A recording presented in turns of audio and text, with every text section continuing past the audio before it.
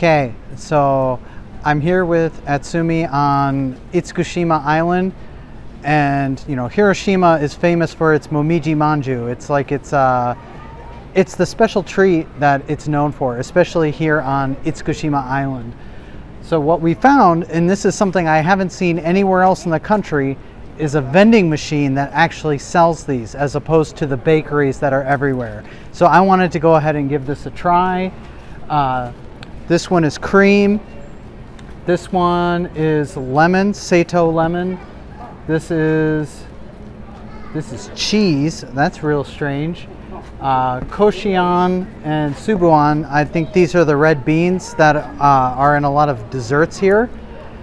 But what I want is the one kind of in the middle, which is chocolate. And it's 220 yen for two. So I'm gonna go ahead, put this in here. Okay, here we go.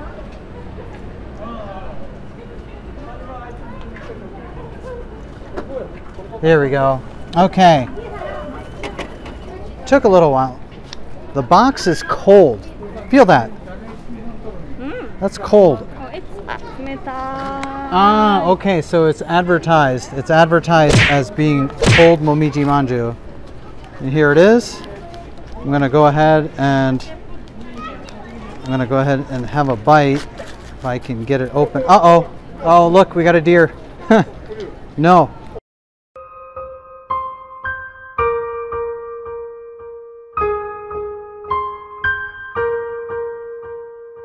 No momiji manju for you. Go away. Ha ha ha. Okay. Here's. Mm. Good? It's like I'm eating. It's chocolate pudding. chocolate pudding on the inside. And because it's cold, it's kind of like if you put one of these in the refrigerator for a day. You put any bread in the refrigerator for a day, and that's what it's going to taste like. But not too bad. Hmm. All right.